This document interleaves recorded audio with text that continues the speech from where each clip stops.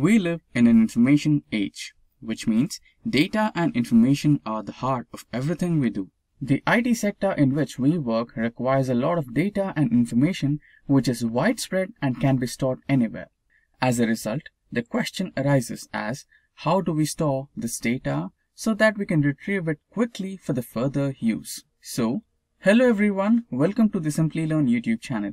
In this session, we are going to discuss an introduction to data structures.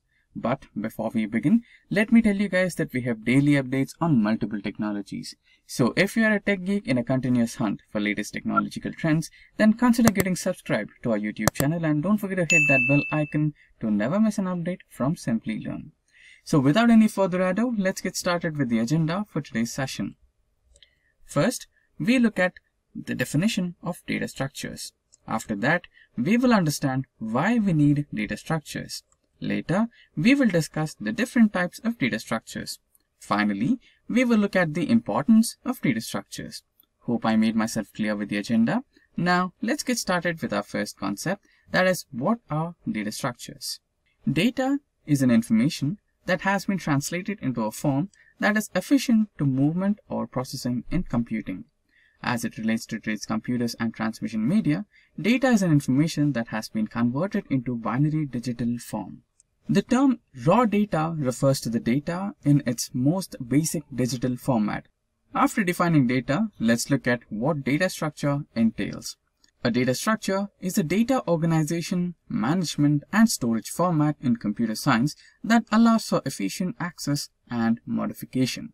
Or a data structure is an algebraic structure about data that contains a collection of data values, their relationships, and their functions or operations that can be applied to the data.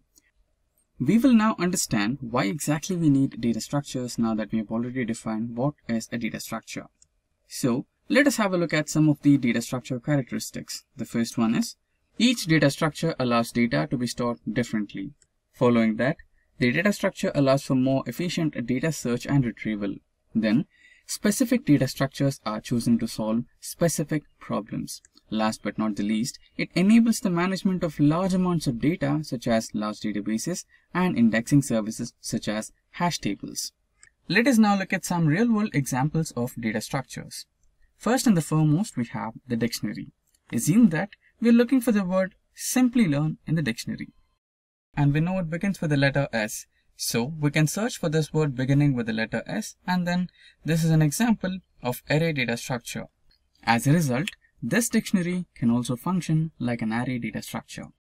Following by that, we have a music player example.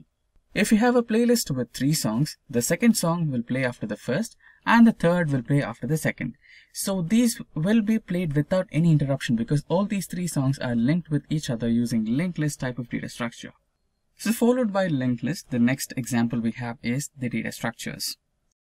The stack of books analogy is a perfect example of the real-time working of the stack data structure. Subsequent to that, Assume there is a line of people at a ticket window and the person who comes first gets the ticket. This particular movie window queue is an example for the real-time implementation of queue data structure. Last but not the least, Google Maps. Google Map is the graph data structure in which all the cities and states are connected. If we want to go from one place to another, there may be many ways to do so. So we can use some algorithms to find the shortest path. As a result, the Google Map is a perfect example for the graph data structure working analogy. Following that, we will look at some different types of data structures in this tutorial. So the first type is the linear data structure. The elements in the linear data structure are arranged subsequently one after the other. They are simple to implement because the elements are arranged in specific order. Followed by the first type, the second type is the non-linear data structure, which we will be discussing a bit later. So in linear data structures, we have four different types. The first one is the array data structure. Memory elements are arranged in a continuous order in arrays. And arrays elements are of same type. The software program also determines the type of elements that can be stored in arrays. So followed by arrays, we have linked list. Linked lists are completely similar to data structures.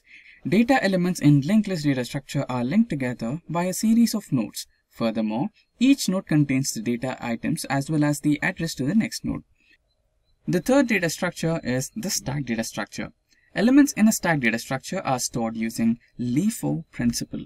In other words, the last element stored in the stack is removed first.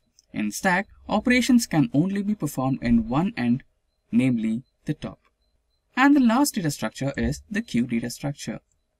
Unlike stack, queue data structure operates in the FIFO principle, which states that the first element stored in the queue is removed first. In a queue, insertion and deletion are carried out from opposite ends.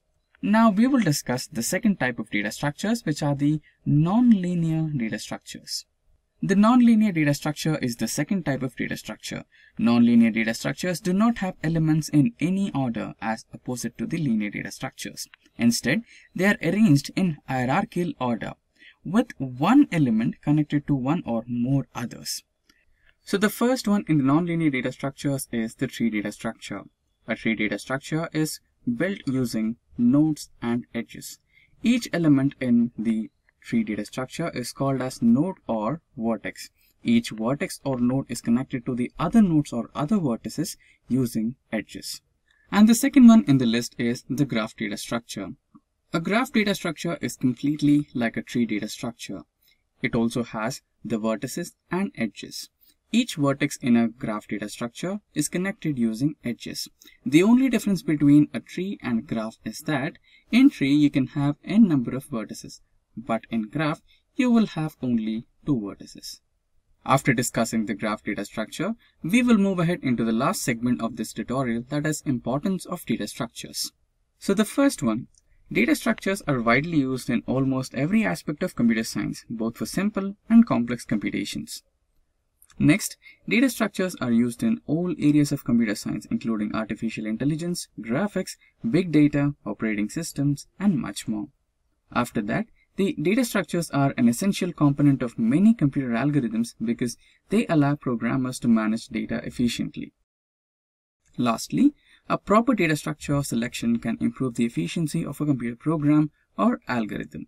So with this, we have come to an end of this session on Introduction to Data Structures. If you have any queries regarding any of the topics covered in this particular tutorial, then please feel free to let us know in the comment sections below, and our team of experts will be happy to resolve all your queries. Until next time, thank you, stay safe and keep learning. Hi there, if you like this video, subscribe to the Simplilearn YouTube channel and click here to watch similar videos. To nerd up and get certified, click here.